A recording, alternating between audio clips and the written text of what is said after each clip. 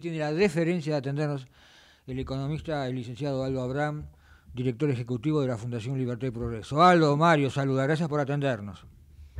Un gusto, buenas tardes. Bueno, Aldo, te voy a dar unos datos para recordarle a la gente simplemente alguna información de hoy. Em, finalmente, hoy el billete cerró, el dólar libre, el, como quieran decirle, blue o lo que sea, a 4.32. Bien. Tenemos un 104% de inflación acumulada.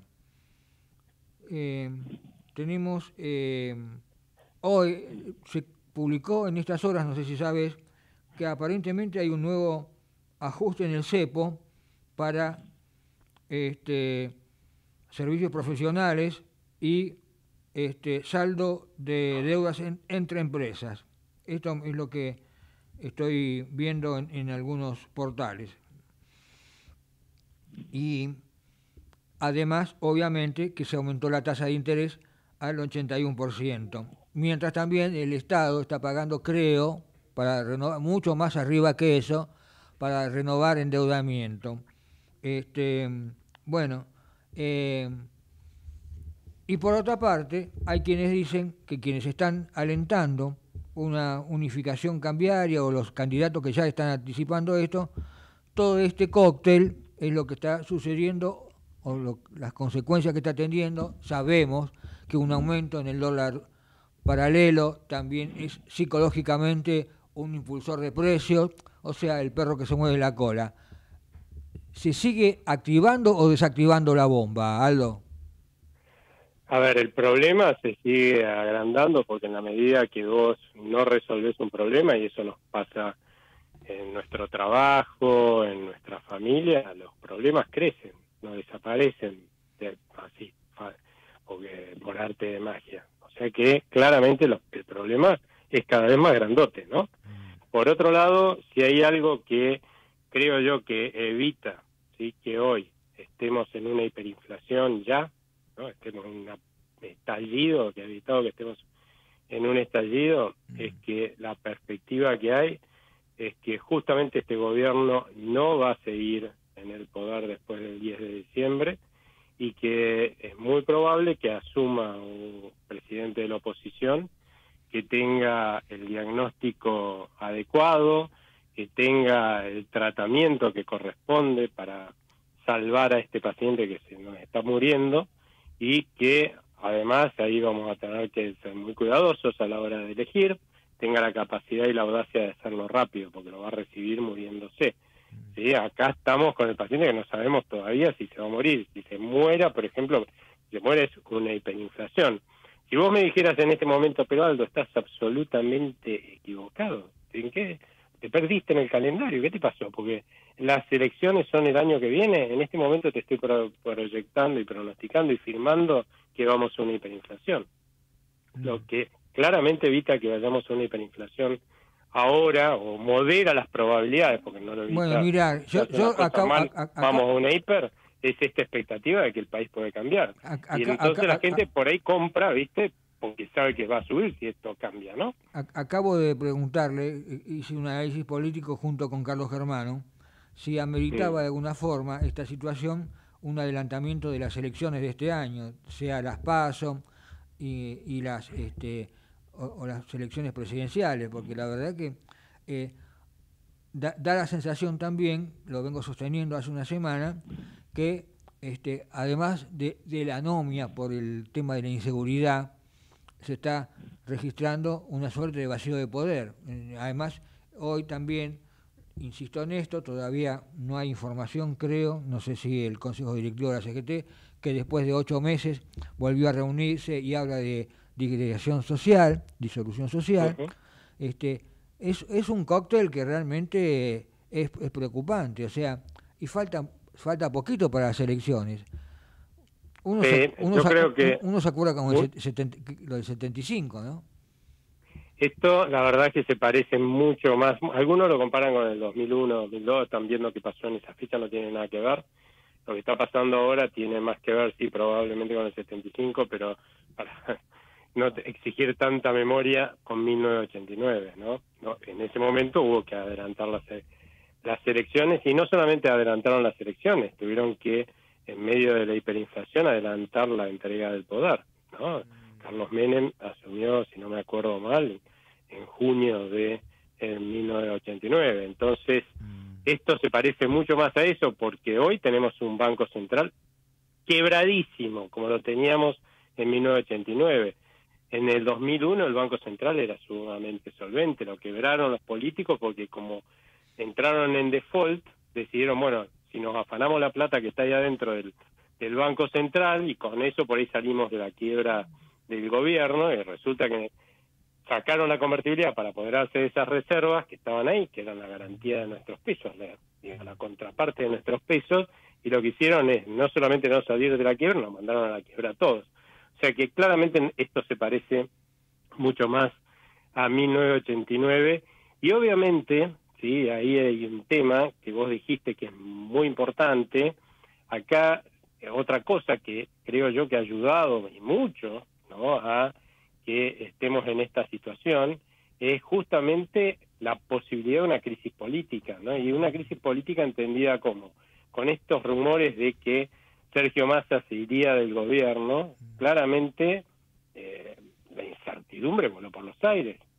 Hay, hay, que acordarse que hoy tenemos una sensación pre-hiperinflacionaria, aquellos que tuvimos la desgracia de vivir las anteriores, que se parecía, se parece mucho a la que tuvimos también en julio del año pasado y que se resolvió por la ganancia que muchos creyeron que hacía el gobierno política por el ingreso efectivo, estaba en la alianza, pero no había ingresado al gobierno de eh, Sergio Massa y que algunos tenían hasta la expectativa de que tuviera las soluciones a los problemas de la Argentina y no las tenía, ¿no? Y es lo que estamos viendo ahora, ¿no?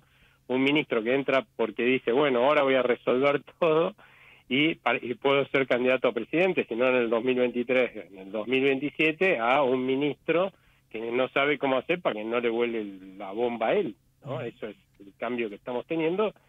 Y encima decir que se va, imagínate que es una crisis política, y es lo único que nos falta, ¿no? También pasó cuando ganó Menem en el eh, en el 1989, ¿no? Eso generó una crisis política, más allá de que digamos, el, el incendio lo había armado el gobierno de, eh, de, Alfonsín, en realidad, pero bueno, lo que terminó de estallar todo por los aires fue la falta de una perspectiva este, de, país normal con Menem, que bueno, después más o menos se la rebuscó y tardó dos años para salir de, esa crisis, pero bueno, logró sacar de semejante crisis. Recuerdo además que, mira, vos sabés, en estas dos oportunidades que vos estás señalando, estaba también en juego el fondo la relación con el Fondo Monetario porque y con los acreedores, porque recuerdo que mientras este a Alfonsín y a Zurrir le estaba fallando el plan primavera, este eh, Domingo Cavallo, este, que estaba haciendo campaña también, se dio una vueltita por Washington y Nueva York y anticipó que si ganaba Carlos Menem las elecciones, no iban a reconocer las deudas que estaba tomando Alfonsín. Y por otra parte, en 2001, creo que la frutilla del postre fue justamente que el Fondo Monetario Internacional no desembolsó, no hizo un desembolso de 1.200 millones de dólares. ¿Me equivoco? Sí, no. No, no, en, las dos circunstancias pasaron. Bueno, el, digamos, el consejo de un, de un entonces economista no creo que haya generado la hiperinflación. De hecho, yo te cuento una anécdota. Yo estaba haciendo justo el máster en economía en el SEMA cuando lanzaron el plan primavera, lo que eh, hicimos una apuesta entre todos a ver quién le invocaba la fecha en la cual iba a estallar.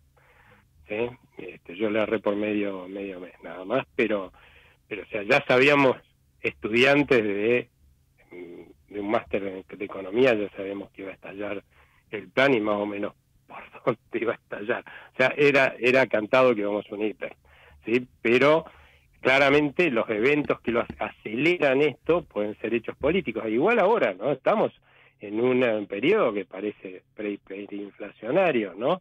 Ahora, los eventos políticos que generan mucha más incertidumbre lo que hacen es acelerar y espiralizar esto, que ya, aún en el mejor de los casos, tenía una perspectiva de empeorar en el tiempo fenomenalmente, o sea, se iba se iba a profundizar la recesión que empezó en septiembre del año pasado, íbamos a seguir por lo menos con una inflación altísima como la que veníamos.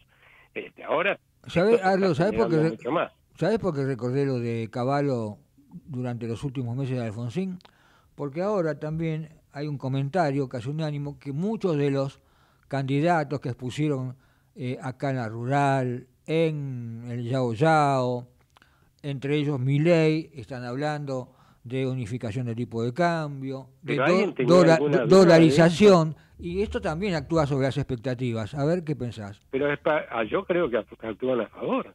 Alguien piensa, a ver, tuvimos 22 cepos, o sea, la gente que tiene ahorros y que tiene capacidad de invertir, ¿sí? tiene eh, asesores que saben que hubo en el pasado 22 cepos, ¿sí? 21 de esos cepos los intentaron sostener en el tiempo y, terminaron estallando. Ahora, eh, y eh, tres de esos terminaron en las tres hiperinflaciones que tuvimos. Y ahora tenemos un cepo que lo están intentando sostener. Mm. De hecho, si el próximo gobierno intenta seguir sosteniendo el cepo después de que asuma, si no estalló esto por los aires al día que, que asumió, dice, en tres meses nos salimos, estallamos por los aires. Eh, Eso ya lo firmo también. ¿cómo, ¿Cómo harías vos una, no sé, unificación del tipo de cambio o dolarización? A ver, ¿a qué paridad?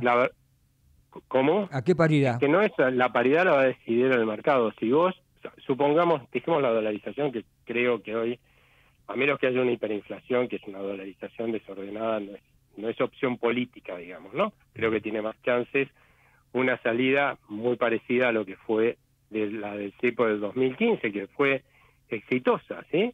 Porque terminó con un dólar que todos pensábamos que iba a superar los dólares paralelos y estuvo bien por debajo del dólar paralelo, ¿no? Y yo creo que una salida así, incluso hasta si lo hacen mejor, más baja en términos de, estar más abajo de los dólares paralelos es posible. Acá la, la, clave de todo para poder salir bien del cepo con el menor costo posible, pues siempre hay que pagar costos para salir del cepo.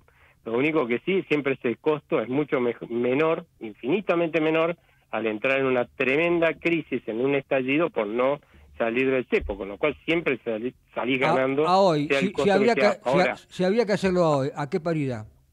Si si hoy asumí, hagamos supuestos, porque hoy con un gobierno en el que no cree nadie, la verdad que no, tengo la menor idea, ¿no? Este es el punto.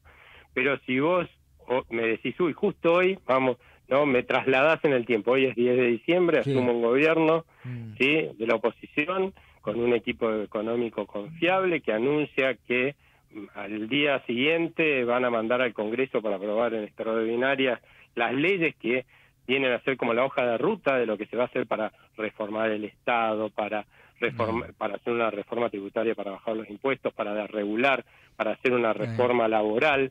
Sí, si vos me contás esa historia, yo te digo, bueno, en dos semanas, como mucho, podés estar saliendo de, eh, digamos, del cepo a un dólar que va a estar por debajo del dólar metro.